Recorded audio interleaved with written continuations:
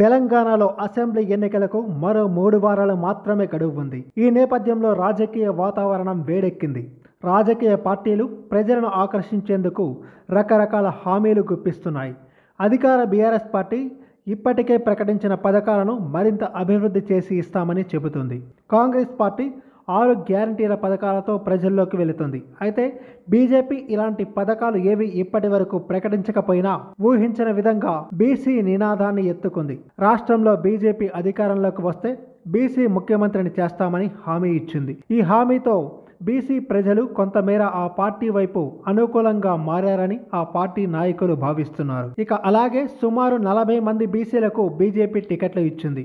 Congress BRS కన్నా BJP బీసీలకు ఎక్కువ టికెట్లు ఇచ్చింది. ఇదే సమయంలో బీసీని సీఎం చేస్తామని బీజేపీ ప్రకటించడంతో ఎవరికి ఛాన్స్ దక్కుతుంది అనే చర్చలు సాగుతున్నాయి. ఈ రేసులో ఈటెల రాజేందర్ బండి సంజయ్ కె లక్ష్మణ్ ఉన్నట్లు లెక్కలు వేస్తున్నారు. ఇందుకు అనుగుణంగా పీసీల ఆత్మగౌరవ సభలో ప్రధాని మోదీ ఈటెల బండిని వెంట తీసుకొని వేదిక వద్దకు వచ్చారు.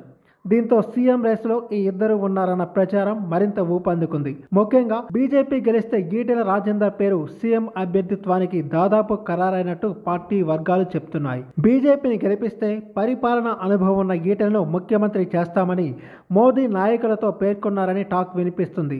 బీజేపీ రాష్ట్ర అధ్యక్షుడు కిషన్ రెడ్డి ఓబీసీ జాతీయ అధ్యక్షుడు లక్ష్మణ్ సమక్షంలో మోడీ ఈటెల పేరును ప్రస్తావించినట్లు సమాచారం. మరోవైపు సభలో కూడా ఈటెలను వేదికపైకి పిలిచి తన పక్కన కూర్చోబెట్టుకోవడం గమనార్హం. ఇదే సమయంలో మోడీ మరో బ్రహ్మాస్త్రాన్ని వదలనున్నట్టు తెలుస్తుంది. తెలంగాణలో ఎస్సీ వర్గీకరణపై ఎప్పటి నుంచో డిమాండ్ ఉంది.